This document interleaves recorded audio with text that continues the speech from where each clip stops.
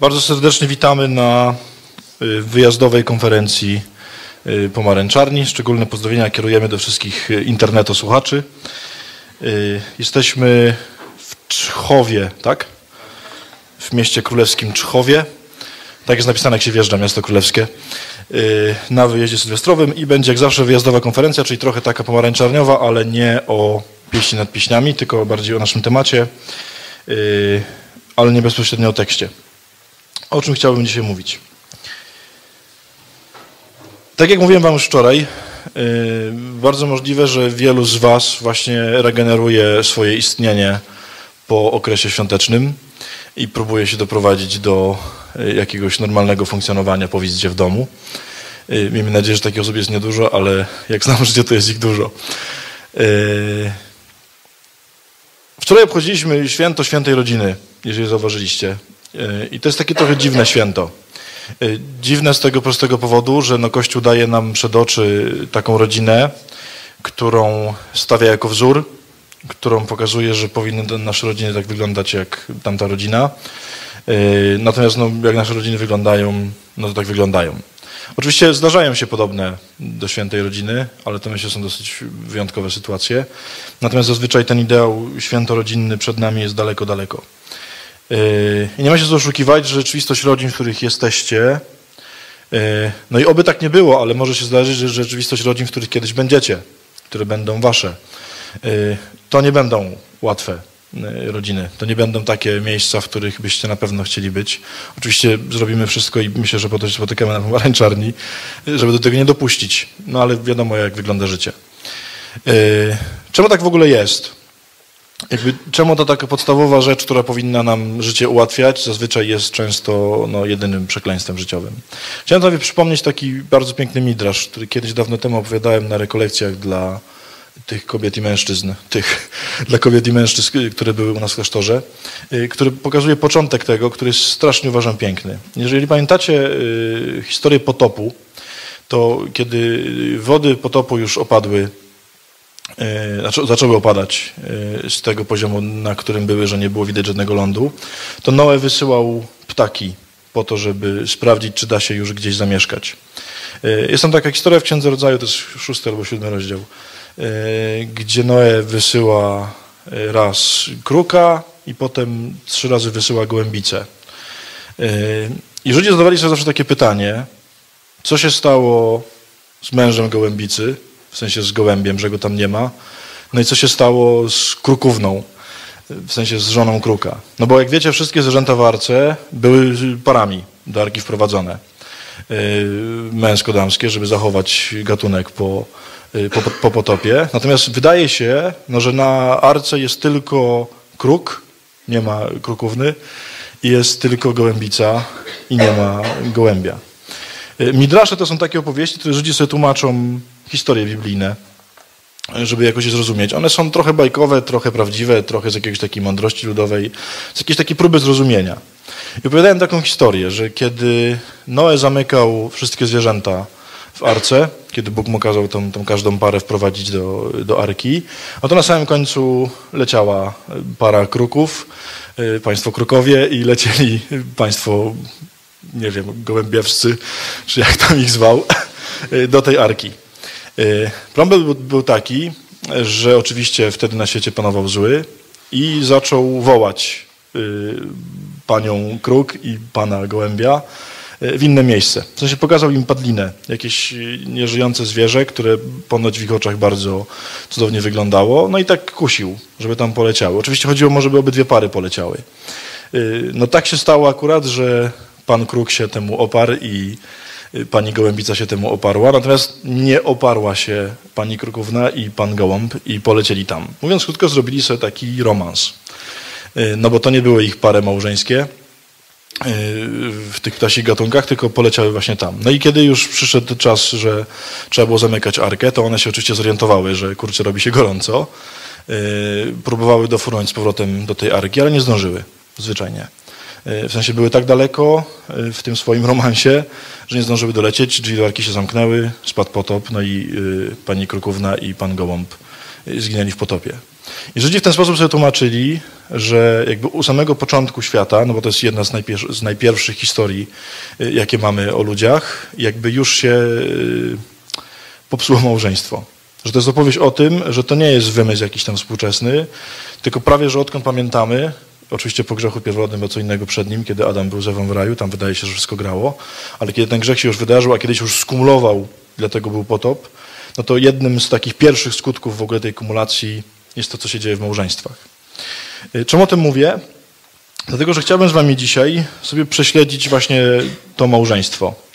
Y, to, które wczoraj wspominaliśmy i to, które w ogóle w tym czasie wspominamy, nie? Takie dziwne małżeństwo. Małżeństwo, które nie jest trochę małżeństwem ojca, który nie jest ojcem, y, żony, która jest żoną, ale nie jest żoną, która jest matką bez ojca. No dziwna taka rodzina. Ja myślę, że w ogóle to jest taki temat, który trochę się rzadko pojawia w naszym myśleniu, bo my zazwyczaj, ja tak może mam, myślimy o Bożym Narodzeniu tak dosyć tak dziecinno-bajkowo, nie? Te wszystkie historie ze żłóbkiem, z osiołkami, z wołkami, gdzieś tam y, w tych jaskiniach, no to są takie sympatyczne, nie? Tam, żeby tam dzieci tam oddają cześć Panu Jezusowi, ale żeby tam się coś takiego sensownego działo, w co można by się jakoś tak wpatrzeć, rzeczywiście zobaczyć, że tam coś się dzieje niezwykłego, no to chyba trudno, przynajmniej nie jest trudno. Wszystko to jest właśnie jeszcze przez te kolendy, wszystkie, które śpiewamy, takie właśnie dziecinno-bajkowe, takie trochę nierzeczywiste, nie? No kto na serio myśli w ogóle o tym? I chciałbym, żebyśmy teraz spróbowali przyjrzeć się kilku tekstom, które są związane z Józefem, z Maryją i z osobami, które się tam kręcą wokół. Y, I żebyśmy zobaczyli jakby, co tam się w tej rodzinie dzieje. Dlatego, że myślę, że to jest naprawdę, tak jak wam wczoraj mówiłem, jedna z najlepszych opowieści o słuchającym sercu. Y, u samego początku jakby pojawienia się Pana Jezusa, że Pan Jezus się włożył w taką rodzinę, która umiała jakby słuchać sercem. Dlatego to jest święta rodzina. Y, poczytamy sobie parę, parę fragmentów i potem ja spróbuję je trochę skomentować. Posłuchajcie najpierw tak, z Łukasza. W szóstym miesiącu posłał Bóg anioła Gabriela do miasta w Galilei zwanego Nazaret, do dziewicy zaręczonej mężowi imieniem Józef z rodu Dawida, a dziewicy było na imię Maryja. Anioł rzekł do niej, nie bój się Maryjo, znalazłaś bowiem łaskę u Boga. Oto poczniesz i porodzisz syna, któremu nadasz imię Jezus. A oto również krewna twoja Elżbieta poczęła w swojej starości syna i jest już w szóstym miesiącu ta, którą miano za niepłodną. W owym czasie Maryja wybrała się i poszła z pośpiechem w góry do pewnego miasta w ziemi Judy. Weszła do domu Zachariasza i pozdrowiła Elżbietę. Maryja pozostała u niej około trzech miesięcy, potem wróciła do domu. Znacie tę historię, nie? Pomyślcie o niej bardzo na ziemi. Maryja spotyka kogoś dziwnego, czy spotyka go w sobie, czy spotyka go naprawdę, nieważne. Dzieje się w niej coś przedziwnego. Nagle się orientuje, że jest w ciąży. Nie była z Józefem, nie była z nikim innym, więc trudno jej przypuszczać, że przegapiła ten moment. Jest w ciąży. Jest w niej jakaś bardzo głęboka wiara, że to jest y, z Ducha Bożego. Co robi? Idzie do swojej krewnej Elżbiety, bo dostaje taką wiadomość. Twoja krewna Elżbieta jest gdzieś tam, podeszła w latach, jest już w szóstym miesiącu. Czyli ona o tym nie wiedziała prawdopodobnie, mimo że są krewni. Y, dlaczego nie wiedziała, to wtedy się dowiemy. Y, dowiaduje się, że ona już jest tam no, tak naprawdę prawie że na finiszu. No i decyduje się, żeby do niej pójść. Nie dostaje żadnego polecenia, żeby pójść, zauważcie. To nie jest tak, że anioł mówi, to teraz pójdziesz do Elżbiety, tylko ją informuje. Twoja krewna Elżbieta. Natomiast Maria się zabiera i idzie tam do Elżbiety. Jest tam, jak mówi ten fragment, przez trzy miesiące i po trzech miesiącach wraca do domu. Czy zauważyliście w, tej, w tym fragmencie gdzieś jakiś moment, żeby Maryja powiedziała coś Józefowi? Żeby Maryja powiedziała Józefowi, słuchaj, jestem w ciąży. Z Duchem Świętym. Ani przed, ani po powrocie nie mamy takiego miejsca. Mało tego.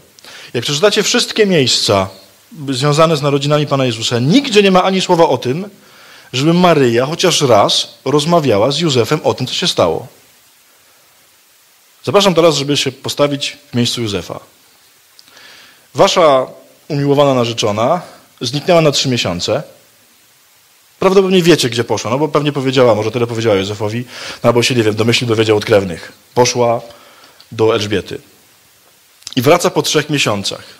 Bez słowa. Czy widać, że Maryja jest w ciąży? Prawdopodobnie widać. Nie jakoś bardzo, no to jest dopiero trzeci miesiąc, nie? Była tam trzy miesiące. Ale widać.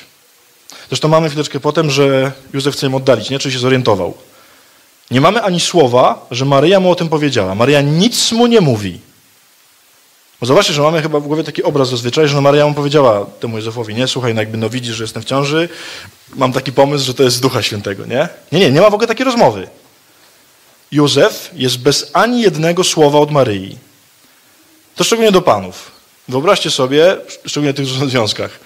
Wasza dziewczyna wyjeżdża na trzy miesiące na Erasmusa, wraca po trzech miesiącach widzicie, że jest w ciąży.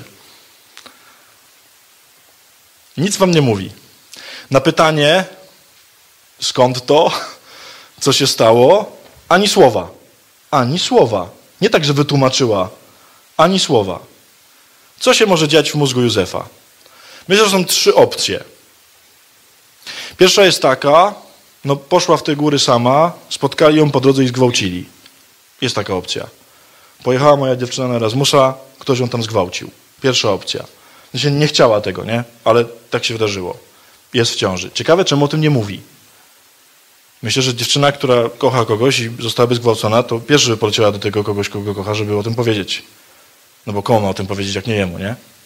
Druga opcja, no była przez trzy miesiące w górach, może kogoś tam poznała. Trzy miesiące to jest trochę czasu. To wystarczy, żeby wejść w jakiś związek. Mówiąc krótko, odkochała się w Józefie, zakochała się w kimś innym, tak się zakochała, że jest ciąża. To jest druga opcja. Trzecia opcja jest taka, że ani nie zgwałcili, ani się nie zakochała, tylko miała przygodę. No w sensie zatrzymała się po drodze do tego Aim Karim, to pewnie był kawałek drogi, w jakiejś gospodzie, coś tam się podziało, ktoś się znalazł, ani wbrew jej woli, ani z żadnego zakochania, ale się stało. Myślę, że takie są trzy opcje, nie wiem, może jest więcej, może potraficie wymyślić jeszcze jakąś inną. Ale jak gdybym był Józefem, gdybym sobie siedział w takim momencie, to miałbym takie trzy opcje w głowie, jak ona by wróciła po trzech miesiącach. Albo zgwałcili, albo jest zakochana w kimś innym, no i zaszła z nim w ciążę, albo miała przygodę. W czym jest problem? Maryja mu nie mówi.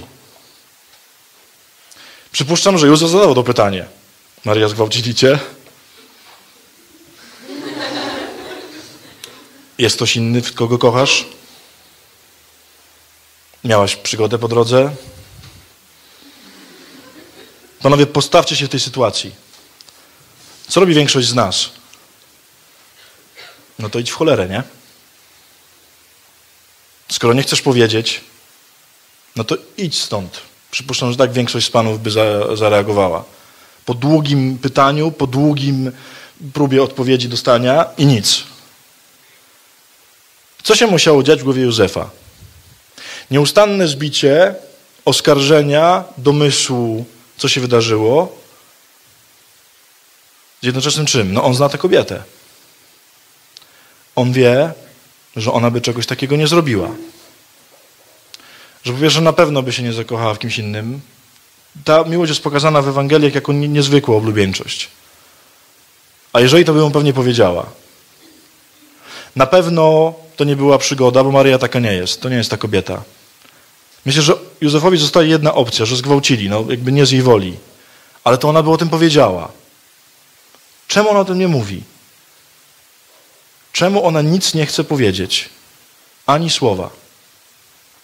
No to czytajmy dalej. Mąż jej Józef, który był człowiekiem sprawiedliwym i nie chciał narazić jej na zniesławienie, zamierzał oddalić ją potajemnie. Gdy powziął tę myśl, oto anioł pański ukazał mu się we śnie i rzekł Józefie, synu Dawida, nie bój się wziąć do siebie Maryi, twojej małżonki, albowiem z Ducha Świętego jest to, co się w niej poczęło. No wreszcie mu ktoś powiedział. Zauważcie to, to jest myślę moment, który pomijamy.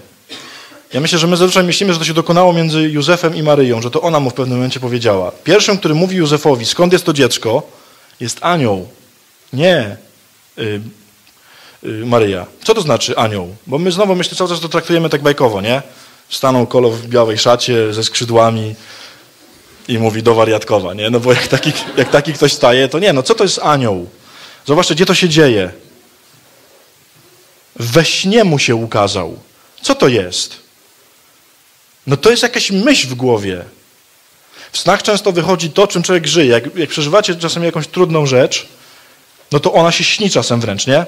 To ona jest tak intensywna, że ona wyłazi z podświadomości. To się stało we śnie Józefowi. Zobaczcie, Józef się budzi rano i ma taką myśl. Kurde, z Ducha Świętego. No bo mam te trzy opcje, sobie mówi. Zgwałcili, zakochała się, przygoda. No żadna z nich. No to, no to skąd? No z Ducha Świętego. Wiecie, co to jest? To jest serce słuchające. W jaki sposób to serce słuchające może dojść do takiego absurdalnego wniosku? Józef się musiał nie poddać żadnemu z tych oskarżeń. To jest, słuchajcie, pierwsza rzecz, którą trzeba w sobie zrobić, jeżeli chcecie się nauczyć serca słuchającego. To są bardzo proste rady tutaj opisane, naprawdę. Chcecie naprawdę nabawić się serca słuchającego? Chcecie wiedzieć, jak być z kimś w takim związku, żeby wasze serca tak się słuchały?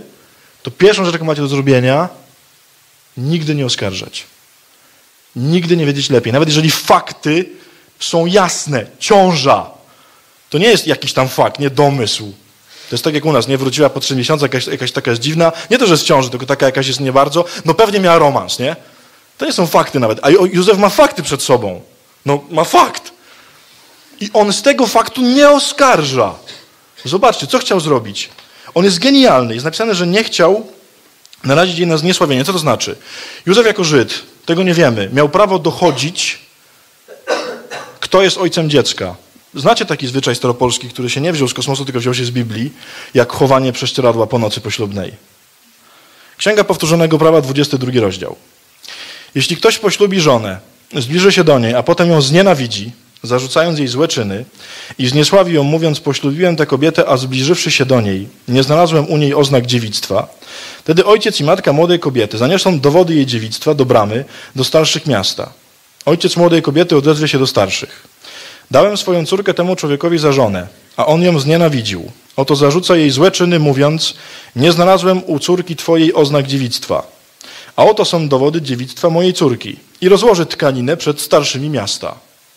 To jest stąd zwyczaj. To nie wymyślili Polacy w średniowieczu, tylko też stąd. Rodzice zachowywali prześcieradło z nocy poślubnej, żeby było wiadomo, że kobieta była dziewicą.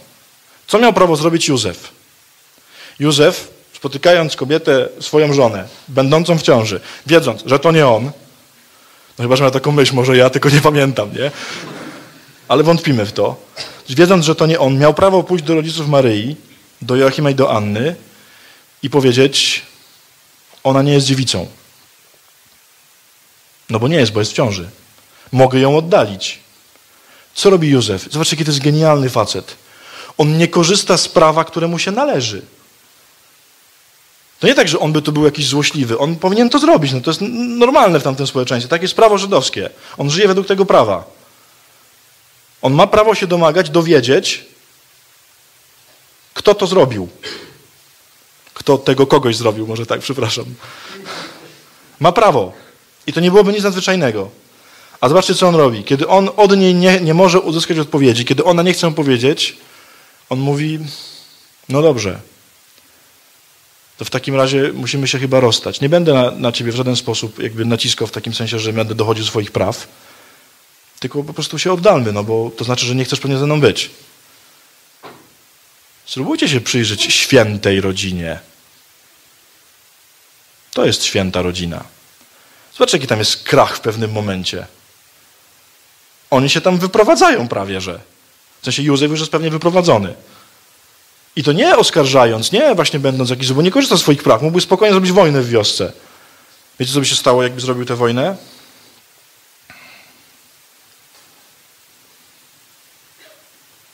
Wtedy starsi miasta wezmą tego męża, to jest w tym drugim przypadku, i ukażą go.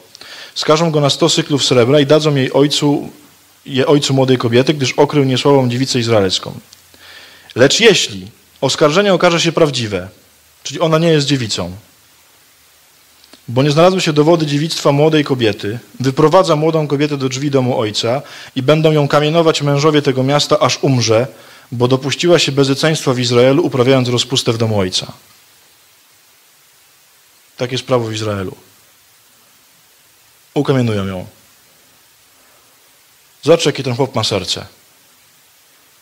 Ma wszystkie dowody jak na stole. Ma wszystko, co tylko by chciał, żeby się zemścić. Nawet nie zemścić, żeby po prostu z zwykłej sprawiedliwości dojść, nie? Nic nie robi. Mówi, jeśli chcesz, to odejdź. Co to jest? To jest wolność.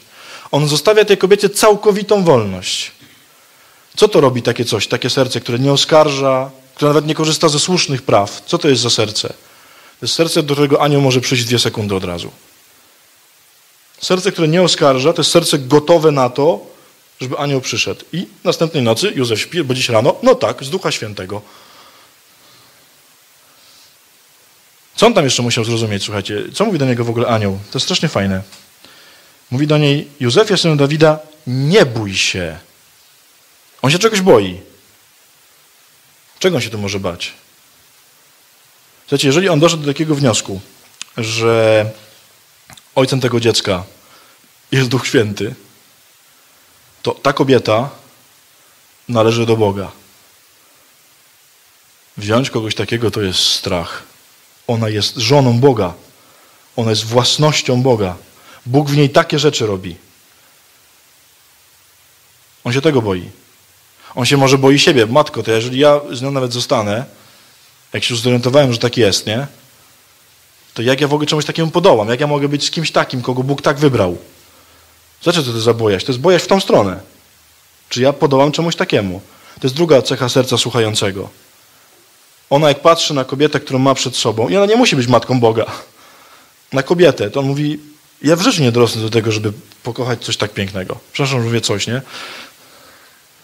Patrzy kobieta na mężczyznę, z którym jest, widzi w nim dobro jakieś. Serce słuchające to takie serce, które sobie mówi, to, że ja tego kogoś, tego mężczyznę dostanę w swoje ręce na własność, to ja się do tego w życiu nie nadaję. To ja nigdy nie, nie, nie będę potrafiła tak kochać, żeby go tak kochać jak trzeba. To są dwie pierwsze cechy serca słuchającego, które są tutaj u Józefa. Pierwsze to jest nie oskarża, a drugie to jest on absolutnie jakby powątpiewa w taki dobry sposób. To nie chodzi o poniżanie siebie, tylko on absolutnie nie wierzy w swoją własną zdolność do kochania. On nie wierzy w to, on nie, bo on by nie umiał. Musi przyjść do niego ten anioł, musi powiedzieć, weź nie bój się. Nie bój się, weź ją za żonę. Nie, nie bój się. Drodzy panowie, drogie panie, jak będziecie mieli przed ślubem takie momenty, a one się, mam wrażenie, zdarzają coraz częściej, szczególnie u panów, że już tam jest blisko do i jest taka właśnie myśl, nie, no ale w ogóle jak? W sensie, przecież to, to nie wyjdzie. Ja po prostu nie, nie umiem tak. Ja tak często słyszę ostatnio przed ślubami. Że po prostu, no ja nie umiem kochać, no jakby, no znam te swoje różne słabości i to po prostu wyjdzie z tego lipa. Ja po prostu, ja wieję, bo ja ją skrzywdzę. To wtedy trzeba ci to usłyszeć. Nie bój się wziąć ją za żonę. To mówi anioł do Józefa. Zobaczcie, jakie to są proste, jakby takie ziemne sprawy. Przychodzi anioł do Józefa i mówi, no nie bój się wziąć ją za żonę. Będziesz ją kochał tak, jak umiesz kochać. No. Poradzimy sobie. Dwie pierwsze cechy serca słuchającego.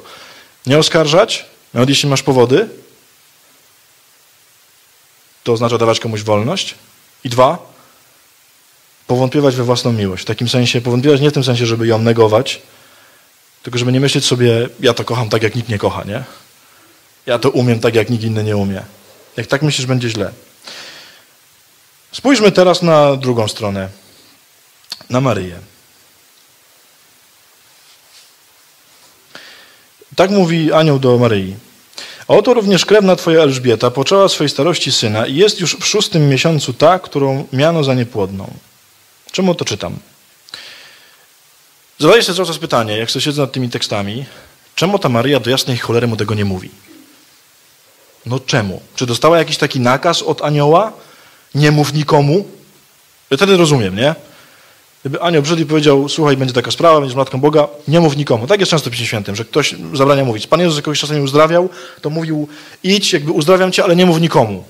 Oczywiście goście szli, odpowiadali całemu miastu. Co się potem stało? Pan Jezus nie mógł do tego miasta już wchodzić, tylko musiał iść do innych wiosek. Dlatego Bóg czasem mówi, nie mów nikomu, bo ma swój pewien plan.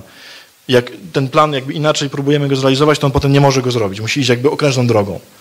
Ale tu nie ma czegoś takiego. On nie mówi do Maryi, nie mów tego nikomu, albo nawet Józefowi. Nie ma takiego zakazu. Ona jakby sama z siebie nagle bierze taki zakaz. Tak jakby ten zakaz miała, w sensie usłyszała, ale go nie usłyszała. Co to za mechanizm Maryi? Czy anioł mówi do niej, to już o tym mówiliśmy, żeby poszła do Elżbiety? Nie. Anioł jej podaje fakt. Krewna twoja Elżbieta jest w szóstym miesiącu ciąży. Maria usłyszała taki fakt, wstała i poszła. Czy usłyszała wstań idź? Nie usłyszała. Co to jest za serce? No Maryja ma tę przewagę nad nami, że nie zna grzechu. Jest niepokonanie poczęta. W niej nie ma tego, co my mamy w związku z grzechem. Ona rozpoznaje pragnienia Ducha Bożego bez mówienia tych pragnień. Jak Duch Boży jej mówi, masz krewnę Elżbietę, która jest w szóstym miesiącu ciąży, daje jej fakt, to Maryja rozpoznaje w tym, bez powiedzenia przez anioła tego zdania, trzeba do niej iść i przez trzy miesiące trzeba jej pomagać. Jest bardzo możliwe, że Maryja, kiedy słyszy o swoim poczęciu, w sensie o tym, co się stało w, jej, w niej, to ona rozpoznaje tam taką wolę Pana Boga, nie mów, mimo że tego nie słychać. Rozumiecie, o co mi chodzi? Tak jak widać w Elżbiecie, mimo że to nie jest powiedziane, ona to robi, tak jakby to wyczytała między wierszami. Tak tutaj. Dlaczego, słuchajcie? Co to znaczy? No bo Józef Bidak jest po grzechu pierworodnym. Co robi Maryja? Żeby tego chłopa doprowadzić do pełni serca słuchającego, to ja muszę pozwolić, żeby Bóg to zrobił, a nie ja. Na tym polega jej serce słuchające. Ona mogła pójść do Józefa i powiedzieć: Słuchaj, Józef, jestem w ciąży z Duchem Świętym. Czy to Józefowi by coś dało? Pomyślcie. Drodzy panowie, pomyślcie nad takim tekstem, kiedy przychodzi do was kobieta i mówi was taki tekst. Jestem w ciąży z Duchem Świętym. Cieszmy się. Co robi, co robi Maryja? Ona mówi tak. To jest prawy człowiek, sprawiedliwy, on jest dobry. Niech w nim Pan Bóg działa. Ja go wystawię na to milczenie. Co to, co to milczenie w nim zrobi? No ono go do czegoś sprowokuje, nie? Zobaczcie, że Józef okazuje się, dochodzi do tej myśli sam. W sensie, no anioł mu to mówi, ale to jest w nim. Co Maryja pozwala zrobić? Że to Bóg musi, a nie ona. Trzecia cecha serca słuchającego. Czasem jak jesteś z kimś w związku i jemu coś dolega i trzeba to naprawić, to my myślimy, że często my to musimy zrobić. I czasem oczywiście musimy pomóc, to jest jasne. A może to Pan Bóg powinien zrobić, a nie my. A może jak my to zrobimy, to kogoś popsujemy. Znam takich sytuacji mnóstwo. Kiedy jedna strona próbuje naprawiać drugą i tak ją naprawia, że ją jeszcze bardziej psuje. Dlatego że zazwyczaj to naprawianie spotyka się z takim oporem i taką niechęcią tego kogoś, to czuje się absolutnie jakoś tam no, wręcz zgwałcony tą prośbą, tym nagabywaniem, że to nic nie daje, a wręcz utwierdza w czymś złym. Otóż serca słuchającego nie można się nauczyć, jak się nie wierzy, że Bóg może. Bo gdyby Maria nie wierzyła, że Bóg może to zrobić, no to rzeczywiście lipa, nie? Serca słuchającego nie nauczy się ktoś, kto nie wierzy w Boże działanie. Tego się człowiek niewierzący nie nauczy. Maryja wie, to w tym sercu musi zrobić Bóg. Ja tu jestem do niczego. No to będę milczeć. Co mi, co mi grozi to milczenie? No, bardzo możliwe, że on mnie wyrzuci z domu. Ona się godzi na bardzo możliwe, że on nam nie doniesie do miasta i mnie ukamienują. Zobaczcie, jakie to jest, jaka to jest zgoda. Ale nie, Bóg wie lepiej. Pomyślcie, czy czasem przypadkiem nie robicie czegoś, co powinien zrobić Bóg? Czy przypadkiem nie próbujecie stawać dla kogoś w roli Boga? Wtedy przestajecie absolutnie słuchać sercem. Absolutnie przestajecie, bo wtedy wy jesteście Bogiem. Nie słuchacie tego, co Bóg chce, tylko wy jesteście. Od razu tutaj zahaczmy jeszcze o jedną osobę, czyli o Elżbietę. To też jest bardzo piękna historia. E, jak pamiętacie, Zachariasz był kapłanem w świątyni. Przychodzi do niego w pewnym momencie anioł, Zachariasz już jest dosyć podeszły w latach i mówi mu, e, będziesz miał syna. Dasz mu na imię Jan, będzie prorokiem i tak dalej. Zachariasz mówi, aha, na pewno. Ja i moja starsza żona tyle lat czekaliśmy na dziecko, jesteśmy bezpłodni, na pewno będziemy mieć syna. No to anioł mówi, no skoro tak mówisz, to będziesz teraz przez 9 miesięcy milczał, żebyś sobie o tym pomyślał, a jak wrócisz do domu, to zobaczysz, że twoja żona jest w ciąży. No i tak się dzieje, rzeczywiście. Zobaczcie, co się dzieje z Elżbietą. Potem żona jego Elżbieta poczęła i pozostawała w ukryciu przez pięć miesięcy. Tak uczynił mi Pan, mówiła. Wówczas, kiedy wejrzał łaskawie i zdjął ze mnie hańbę w oczach ludzi. Spójrzmy na Elżbietę. Chciałbym, żebyście zobaczyli jeszcze jedną osobę w, tym, w tej rodzinie. No to jest wszystko rodzina. To jest jej krewna. Jakie serce słuchające ma Elżbieta? Bo też ma niezwykłe serce słuchające. Słuchajcie, ta wiocha Aim Karim, bo to jest naprawdę wiocha. Tam mieszkało prawdopodobnie ze 20 parę ludzi. Tyle jest śladów po domach, które tam były. To jest absolutna wiocha, zabita dechami. Niedaleko jest do Jerozolimy, więc jakby plotki prawdopodobnie z dużego miasta dochodzą. Mm, tylko, że myślę, że wiecie, jakby jaka panuje atmosfera międzyludzka w takich wioskach, nie? gdzie mieszka kilkanaście osób. Tam to, co się wydarzyło w sensie w kuchni jednej osoby, wiedzą absolutnie wszyscy w tej wiosce. Nie? I to jest w ogóle główny temat rozmowy. Wszyscy wiedzą, że arcykapłan, w sensie kapłan Zachariasz nagle zamilkł. W sensie jak go pytają coś, to nic nie mówi. Taki się stał jakiś taki wsobny, nie? No, sześć miesięcy, słuchajcie, w ogóle, to, bo to jest w tym, jesteśmy w tym miejscu. Jesteśmy po tych sześciu miesiącach. Kiedy się ludzie dowiadują, że ona jest w ciąży, jest napisane, że przez pięć miesięcy się ukrywała i w szóstym miesiącu się dowiedzieli. Co robi Elżbieta? Przez pięć miesięcy, jak poczęła, siedzi w domu prawdopodobnie. No bo jest napisane, że pozostawała w ukryciu. No w wiosce 15-domowej być w ukryciu to trzeba siedzieć po prostu w jednym pokoju i nie wychodzić, nie? Ale pewnie się już nie dało. I cała wioska się dowiaduje. Słuchajcie, co to musi takiej wiosce znaczyć? No tam chodzi taka plota za plotą, że to w ogóle jest niewiarygodne. Facet, tak, mąż się nie odzywa, czyli są pokłóceni prawdopodobnie, a ona jest w ciąży. Co sobie myśli wioska? Romansik był na pewno. No, no bo jakżeż, no. Ten chodzi jak burak, po prostu ani słowa. Co się do niego człowiek odezwie, to nic nie mówi. A ta siedziała przez pięć miesięcy w chałupie. No słuchajcie, poczytajcie Biblię właśnie w taki sposób. No. Jeżeli jesteście z jakiejś małej wioski albo jesteście z bloku, gdzie się wszyscy znacie, no to, to tak jest. No. Jak sąsiad wasz, którego znacie, przez sześć miesięcy ani słowa, nie? Widać, że chodzi na burmuszony po prostu jak, jak nie wiadomo. A jego żona w ciąży jest i siedzi w domu przez pięć miesięcy. To zobaczcie sobie, jakie chodzą nieustannie ploty dookoła. Dlaczego Bóg posyła Maryję do Elżbiety? Żeby ta Elżbieta mogła wreszcie pogadać z kimś na poziomie. Co to znaczy? Zobaczcie, co mówi Elżbieta o sobie. Kiedy pozostawała w ukryciu przez pięć miesięcy, to mówiła, tak uczynił mi Pan. Elżbieta wie, że to, co się w niej dzieje, jest jakimś spotkaniem z Bogiem, jest jakimś cudem. Jakich ma ludzi wokół siebie? A był romansik?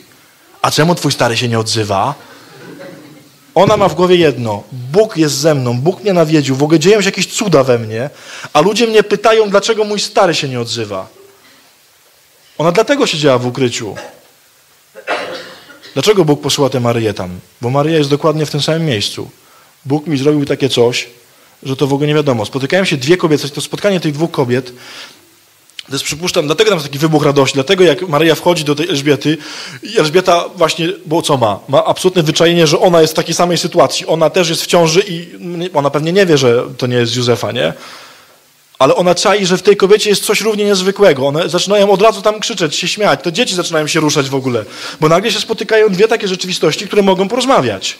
A nie ta wiocha dookoła, nie? Która gada tylko o jakichś pierdach. No tak. Zobaczcie to. Co to się dzieje? Te kobiety mają nawzajem względem siebie słuchające serce. W jaki sposób? Że jak wchodzi Maryja do krewny Elżbiety, ona nie ma prawa nic wiedzieć o tym, że to, co w niej jest, to jest z Ducha Świętego, że ona nie, nie wiem, no, nie z Józefem albo z kimkolwiek innym. Ona mówi, jak to jest możliwe, że matka mojego Pana do mnie przychodzi? Ona to wie. Ona to wie. Skąd ona to wie? Ona ma serce takie, bo ona przez pięć miesięcy siedziała i myślała, to mi czyni Bóg. Ona nasłuchiwała Boga przez pięć miesięcy. Ona mówi, to co mi się dzieje, ja mam pewnie z 80 lat, tak pewnie miała, czy z 70, no nie wiem, no w każdym razie dużo, skoro byli już w podeszłym wieku. Mówi, to co mi się dzieje, to jest jakieś to. Ja siedziała przez pięć miesięcy, myślała, jak, co to znaczy, Boże, jak, kim Ty jesteś, że Ty mi takie rzeczy robisz. Że jak spotyka kogoś drugiego, kto ma to samo, ona to w mig rozpoznaje. No i biegają z tymi brzuchami i cieszą się w ogóle, no super. Znaczy no Maryja jeszcze nie, bo Maryja jest dopiero na samym początku, więc Maryja jest dopiero prawdopodobnie w drugim tygodniu. No właśnie, a zobaczcie, to samo to. Właśnie tego nie zauważyłem, kurczę. Przecież, przecież nawet Elżbieta nie widzi, że ona jest w ciąży, słuchajcie. No bo to jest zaraz po zwiastowaniu, czyli to jest jakiś tydzień, dwa, ten, ten czas od zwiastowania, aż doszła do Aimkarim, to jest w górach, więc trochę, trochę pewnie szła do, w te góry. Więc tam nie widać u Maryi, że jest w ciąży. A Elżbieta ją widzi i mówi, że to jest matka mojego Pana i tutaj mój się już tutaj porusza, bo twojego widzi. Tam jest Pan Jezus jeszcze prawdopodobnie takiej wielkości. Tutaj no Janusz jest sześciomiesięczny, nie? więc tam już trochę jest taki bardziej rozgarnięty, nie? Jan tam fikołki już fika. A zobaczcie, co to jest za scena. Znaczy, to, to, to są takie sceny. Ona, ona ma takie serce, ona tak słucha ta Elżbieta. Czwarta cecha serca słuchającego. Co robi Elżbieta? Jaką ma czwartą cechę? Jakie to jest serce słuchające? Ona nieustannie myśli, co mi Bóg robi? Co mi Bóg robi? Siedzi w zamknięciu, nie gada z ludźmi, którzy nic o tym nie wiedzą. Nie próbuje tego wytłumaczyć, tylko siedzi i myśli, co mi Bóg robi? Co się we mnie dzieje? Co to jest za życie? Co, jak On mnie prowadzi? Jak to jest możliwe? Co, czemu ten mój stary się nie odzywa? I Boże, co to znaczy? No ona cały czas mówi, to mi uczynił Pan. Tak mówi Elżbieta. Masz tak w życiu? Że nieustannie siedzisz i myślisz sobie, co mi robi Bóg? Co to mi się dzieje?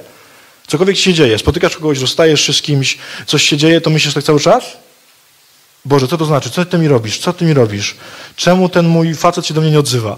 I nie, nie w sensie, że jest na niego wkurzona i czemu on się nie odzywa, tylko Boże, wytłumacz mi to, jakby co się dzieje? To jest serce słuchające. Ona przez pięć miesięcy tak słucha i potem, kiedy spotyka kobietę, po której nie widać, że jest ciąży, ona mówi, że jest w ciąży. No, kurde, prorokini. To jest serce słuchające. Jedziemy dalej. Kolejnych trzech bardzo ciekawych panów, którzy są w okolicach tej rodziny. Trzech magów. Trzech magów to są w ogóle moi ulubieni bohaterowie całej tej historii. Naprawdę, jak, jak, trafię kiedyś do nieba, oby, yy, tak pierwsze, co poproszę tam po wizycie u Boga Ojca i szefostwa, tam trzeba pójść najpierw, żeby się przywitać, to, to będę chciał się, gdzie jest tych trzech kolesi? Znaczy, w sensie nie wiemy w ogóle, czy ich było trzech, to po pierwsze. To pewnie już wiecie, nie? No złożyli trzy dary i stąd mamy taki pomysł, że było ich trzech, ale nie ma napisane w Ewangelii, że było ich trzech. Jest napisane, że przyszli magowie ze wschodu, mogło ich przyjść 60 nawet. Tylko mieli trzy dary. I potem, że mieli trzy dary, no to żeśmy sobie wymyślili, że każdy szedł z jednym darem w ręce, nie? Jakby no, no tak, nie wiemy ilu było. Kiedyś u nas taki mieszkał, taki bezdomny w kościele, y, Szwejk, żeśmy go przezywali, który zawsze jak się go pytało o magów, Szwejk, ilu było magów? On mówił, czterech. Jak czterech? No bo był Chińczyk, Amerykanin i Azjata i był czwarty murzyn, rezerwowy. tak zawsze mówił Szwejk, naprawdę. Słuchajcie, co to jest za historia? yy, a w ogóle to nie wiem, czy pamiętacie, bo to jest w ogóle też historia o tych, nie? To zawsze w objawienie pańskie to przypominam. To jest historia o, o pierwszych komunistach. Że magowie to jest wzór pierwszych komunistów. No bo tak, przyszli ze wschodu, przyświecała im gwiazda, wszyscy się pchali do żłobu. Jedyne, co ich odróżnia od komunistów, to to, że dali, a nie zabrali. Ale słuchajcie, magowie. Y, my nazywamy ich trzema królami. To jest trochę głupie, ale to za chwilę to wytłumaczę. To są magowie. W Ewangelii jest napisane, że to są magowie. To są wróżbici. Po naszemu to w ogóle, no, w ogóle grzech skaza. Co są goście? To są goście, którzy patrzą w niebo. Na tym polegała magia w tamtym czasie. Nie na tym, że tam czarowali coś. Tylko patrzą w niebo i wierzą w to, że to, co widzą w gwiazdach, to jest odzwierciedleniem, odzwierciedleniem tego, co się dzieje na ziemi. Że rzeczy ziemskie Bóg pokazuje Bóg, jakaś siła. Nie wiemy, w co oni wierzyli, ale że to się, to się da zobaczyć w gwiazdach. I co nie zobaczyli w tych gwiazdach? Bo jest mowa, że przyjść za jakąś gwiazdą. Co to znaczy? Że oni w tym, co znali o tych gwiazdach, w normalnym jakby rozwoju świata, w historii świata, który potrafili, znaczy według nich, odczytywać w tych gwiazdach, nagle zobaczyli, że jest jakaś anomalia. W sensie coś się zmieniło. W tym układzie, który był zawsze, w tym, co dało się wyczytać, w tym, jak to normalnie chodzi w tych gwiazdach, nagle zobaczyli, że jest coś nie tak. Pomyślcie sobie, co to jest za serce, które potrafi wpaść na pomysł, patrząc na durne gwiazdy, że Bóg się narodził. Bo oni nie wierzą w to, że jakiś król się nawet narodził. Nie, oni przychodzą za chwileczkę do Maryi i oddają mu cześć. Oni padają przed nim na twarz. Tak się nie robi przed żadnym królem. Oni mu oddają boską cześć. Co to jest za serce, które patrząc na gwiazdy potrafi dojść do wniosku, gdzieś w tej chwili albo za chwilę i muszę tam pójść, narodzi się Bóg? No, odpowiedź jest oczywista, nie? Jakby co to jest za serce? Zobacz, jakie nie mają jeszcze serce. Oni idą do Maryi napisane jest tak. Zobaczyli dziecię i matkę jego, tak jest napisane u Mateusza, i upadli na twarz. Co zobaczyli? No, kobietę z dzieckiem, nie? Wiecie, co to jest za serce, które w najzwyczajniejszym obrazie, oni się może tam spodziewali, jak tam dojdą, nie? Że tam będzie w ogóle nie wiadomo co. No w sensie, jak ja sobie pomyślę, że gdzieś miałby się Bóg pojawić, to też sobie wyobrażam, że to byłoby nie wiadomo co, nie? W sensie, no, jakieś mega zjawisko. A to wchodzą do, do, do tej szopy, nie? Siedzi mama i dziecko trzyma, nie? No dziecko pewnie jeszcze drze japę, może jest głodne, albo je akurat karmi piersią. Józef stoi z boku, pewnie jakiś taki naburmuszony. cokolwiek innego. I oni widzą taki obraz i na, widok ten, na, na ten obraz padają na twarz tak, tak jak przed Bogiem. Co oni mają za serce, ci goście? Normalny człowiek by takie wszędzie powiedział, aha, no tośmy wygrali. No tośmy znaleźli po prostu zjawisko niespotykane na tym świecie. Matkę karmiącą dziecko. Nikt tego jeszcze nie widział. To nam intuicja podpowiedziała, no genialne. Tak by zachowała się większość ludzi. Nawet jak miała wcześniej taką intuicję, że coś takiego spotka, to kiedy by zobaczyła real, mamę z dzieckiem, to by powiedzieli, no ekstra, no to wygraliśmy, wracamy do domu chłopaki. Nie ma co. A ci goście w tym widzą kogoś, komu oddają cześć boską. No to jest niewiarygodne. Co to jest? Co się w nich dzieje? Gdzie oni to rozpoznają? Słuchajcie, no w gwiazdach? No nie w gwiazdach, no. Oni to w sobie rozpoznają. Oni jak widzą tą matkę z tym dzieckiem, to w sobie to widzą. Ci goście się spotykają sami ze sobą. Oni są y, dlatego mędrcami, tak się ich nazywa, nie? Magami, mędrcami, jakkolwiek. To są goście, którzy nieustannie badają siebie, jakby co to dla nas znaczy rzeczywistość. W kółko to samo, słuchajcie. To jest coś, czego my nie robimy w ogóle, nie? bardzo prosty sposób. Widzisz jakieś zwyczajne zachowanie twojego chłopa, twojej dziewczyny i masz pewne fakty. Czy zatrzymujesz się na faktach, czy próbujesz to absolutnie zgłębić? Co to znaczy, że kim on jest? Znaczy, jest tak, jak jest w coś wkurzającego, no to sobie myślimy, no to jest wkurzające, wkurza mnie to, nie? Fajnie było, żeby to zmienił. Co zrobi taki mędrzec? Usiądzie i pomyśli, co to znaczy w nim? Za tym jest jakaś rzeczywistość absolutnie głębsza. Za tym może się kryje Bóg w dziecku. To jest mędrzec. To jest serce słuchające. Słuchajcie, i ostatnie już. Widzę, że macie już dość. Chciałem jeszcze wam powiedzieć o Herodzie. Dlatego, że on też ma słuchające serce, wbrew pozorom. Y, jak przychodzą y, królowie do Heroda, w sensie magowie, mędrcy, zwał jak zwał, to jest napisane, że Herod wpadł w przerażenie. Co to znaczy? Wiecie, jak czytacie Ewangelię, to zawsze warto sobie takie zdania wszystkie jakby tak wyciągać. Jakby co to znaczy, że Herod padł przerażenie? Czego ten chłop się boi? Jest władcą w tym kraju, nie? Wszystko jest jego. Wszystko jest na zawołanie jego ręki. On może zrobić, co chce. Co mu się tylko żywnie podoba. Przychodzi jakiś trzech odjechanych hipisów. No tak, no oni tam musieli wyglądać, no zresztą tak są na obrazach że pokazywani, nie? Mieli te, nie wiem, szaty w gwiazdki, w księżyce, cokolwiek, nie? Są wszyscy innej karnacji, nie? No wyglądają dziwnie. Słuchajcie, to nie jest tak jak u nas. My jesteśmy przyzwyczajeni do tego, że widzimy ludzi innych ras, innych kultur nieustannie, nie? Mamy telewizory. No oni żyli cały czas w jednym kręgu. Jak się pojawiał ktoś z drugiego końca świata, jakby zobaczyli Chińczyka, to w ogóle nie wiedzieliby, co to człowiek jest. No nie, no tak, no w takim sensie, że my to, dla nas to jest oczywiste, dla nich nie. Tam przychodzi trzech gości z dalekiego wschodu. Oni wyglądają inaczej. To są jakieś trzech dziwaków i mówią takie zdanie do niego. No patrzyliśmy w gwiazdy i w tych gwiazdach jest napisane, że tu się urodzi taki nowy król, który będzie to królem. No kto się na takie coś przeraża? No weźcie, przestańcie. Dlaczego Herod jest przerażony?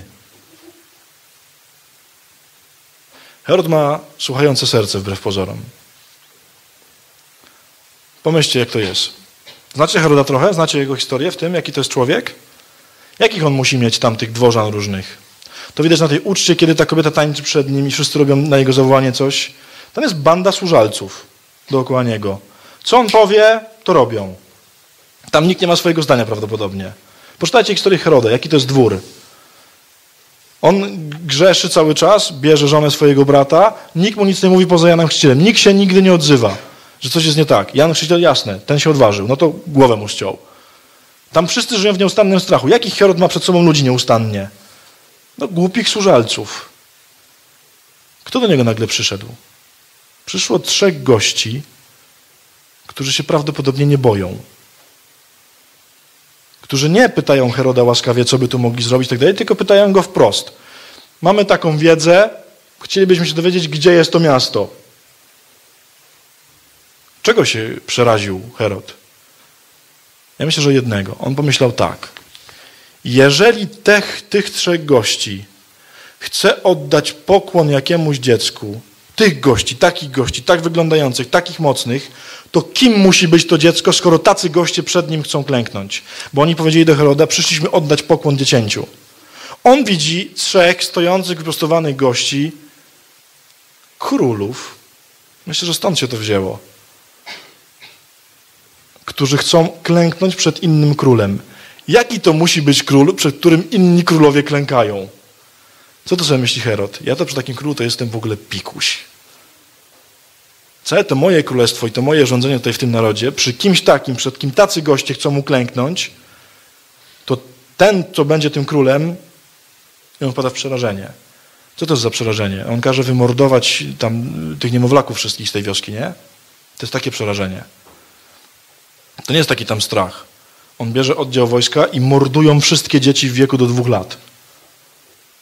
Było ich tam sporo. Herod ma bardzo słuchające serce. Zobaczcie, co on potrafi zrobić. On potrafi w tych trzech gościach, którzy stoją przed nim i mówią proste słowa. Zobaczcie, jak on potrafi odczytać rzeczywistość. Problem Heroda polega na, polega na jednym. To grzesznik jest. Czemu to jest takie ważne? Każdy z was ma słuchające serce. Każdy. Jeśli jesteście stworzeni przez Boga, to macie słuchające serce. Czemu go nie widać? Bo jesteśmy grzeszni. Maryja, Józef, Elżbieta, magowie to są goście, w których nie widać zgody na grzech. Józef, pokażcie mi miejsce, gdzie Józef jest grzeszny. Maryja, to nie ma co mówić. Elżbieta, pokażcie mi miejsce, gdzie ona robi coś złego. Magowie, pokażcie miejsce, gdzie robią coś złego. Herod, miejsce za miejscem, za miejscem, za miejscem. Otóż my tego serca słuchającego nie widzimy, nie słyszymy i nie potrafimy nim patrzeć na kogoś, bo jesteśmy grzeszni. Chcesz mieć serce słuchające? To na wojnę z grzechem. To nie bądź Herodem. Bo to nie jest tak, że ktoś go nie ma, że Herod go nie ma, bo że Herod głupi, zły nie ma serca słuchającego. Ma, jak się okazuje ma i to świetne. I to takie, że od razu wyczaja po jednej dwuzdaniowej rozmowie z królami, do kogo oni przyszli. Kto to jest za gość? On to czai. Tylko, że on grzeszny jest. I to czajenie mu nic nie daje, bo on trwa w tych grzechach. I zostanie w nich do końca życia, jak się to potem okazuje. I nie ma zamiaru w żaden sposób z tego grzechu wychodzić. Znaczy, mówię wam o tym dlatego, że tak jak wam mówiłem wczoraj, zadaję sobie cały czas pytanie, co ja mógłbym zrobić, żeby moje serce było takie, żebym mógł tego Boga spotykać tak, jak wam wczoraj opowiadałem. I myślę, że w tych opowieściach o tych ludziach z tej rodziny, właśnie z tej dziwnej, przedziwnej rodziny, jakby są wskazówki, co to znaczy mieć słuchające serce. Spróbujcie sobie sami, tego się pewnie tutaj nie da zrobić, nie? ale jak wrócicie do domu, usiąść z tymi tekstami. Spójrzcie na tego bidnego Józefa. On jest, on jest tak piękny tutaj w tym, co się tu z nim dzieje i tak wystawiony na takie rzeczy. Spróbujcie z nim usiąść, panowie. Drogie panie, usiądźcie z Maryją, z Elżbietą, z tą wioską Elżbiety dookoła, z tym, co się tam dzieje. Usiądźcie z magami, posłuchajcie tego, co... i usiądźcie z Herodem też. Bo to większość z nas to tam gdzieś tam blisko ma do Heroda. Że można coś tam czaimy i coś rozpoznajemy, ale nasze grzechy nas całkowicie jakby tłumią, tłuką nas wręcz. Słuchajcie, jak się ktoś nauczy tego słuchającego serca, to co się robi, no to się robi jedno. To się zbawienie staje. Bóg, żeby przyjść na świat, potrzebował dwóch słuchających serc. Znalazł. Maryję i Józefa. Mnie się bardzo podoba, że w tym duecie jest Józef. Bo z Maryją jest taki problem, że mogliśmy sobie powiedzieć, no dobra, ale ona była wyjątkowa, ona była bez grzechu. Więc co my tam do niej mamy? I tu okej, okay, taki zarzut jest dosyć w porządku, chociaż on jest nieprawdziwy, ale okej. Okay. Ale tam jest ten drugi, ten Józef, który nie jest niepokalanie poczęty, a który ma po prostu tak słuchające serce, że to się w głowie nie mieści. Dostałem na święta taki, takiego maila z taki obrazek świętego Józefa, bardzo, bardzo ładny, gdzie jest y, grota narodzenia, Maryja leży na takim tam, nie wiem, słomie tam czymś tam z tyłu, taka śpi, a Józef z Panem Jezusem na ręce. Ona śpi, odpoczywa, a Józef z tym Panem Jezusem go tam próbuje pewnie uciec, żeby nie płakał. To jest, myślę, dobry wyraz słuchającego serca Józefa. Posiedźcie z tymi postaciami. Spróbujcie je zobaczyć. I poszukajcie tam siebie. Bo jak się nauczycie słuchającego serca, to, to macie wszystko. To nic wam więcej nie potrzeba. Amen.